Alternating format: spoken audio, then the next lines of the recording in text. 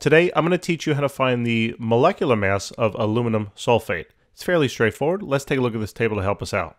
Bam. So the first thing I'm going to do is just write down the elements that I have. So I have aluminum, I have sulfur, and I have oxygen. Next is to write the number of atoms of each in this uh, compound.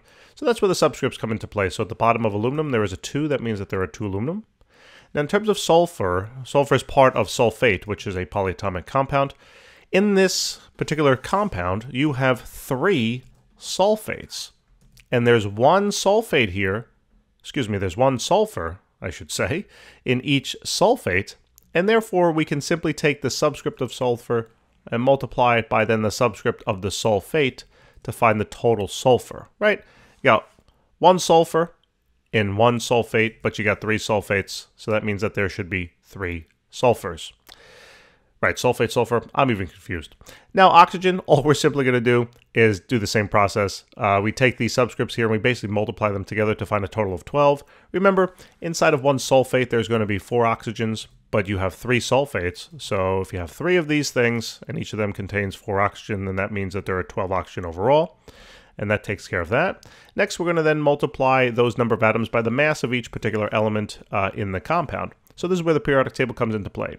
So we scroll on over here and we find the masses that we need. Now these masses down here will represent either gram per mole if you're finding molar mass or AMU if you're finding molecular mass. So aluminum is 26.98, sulfur is 32.07, and oxygen is about 16. So let's write them down. So 26, so we got 26.98. This is about 32, right? 0.07 I think it was. Let's just double check. Cool. Sometimes, you know, the memory can go at these late hours.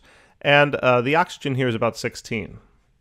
Now, depending upon if you use this table or another table, the numbers be ever might be so slightly, slightly different, but that's just because where we decide to round.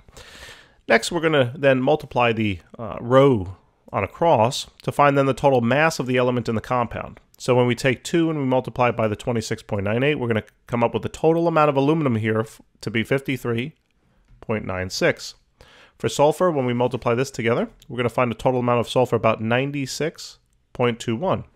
And then for oxygen, we take 12 and multiply by 16, and that works out to be about 192. Next then to find, and finally, to find then that total mass of the compound, all we have to simply now do is add up this column. See how nice and simple that is? So when we add that together, we get a value of about 342.17.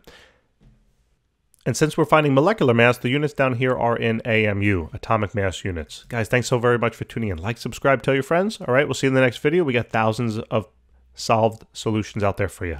Take care.